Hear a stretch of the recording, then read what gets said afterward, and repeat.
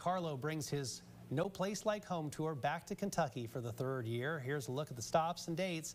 The Louisville raised artist says this will be the only tour he goes on this year.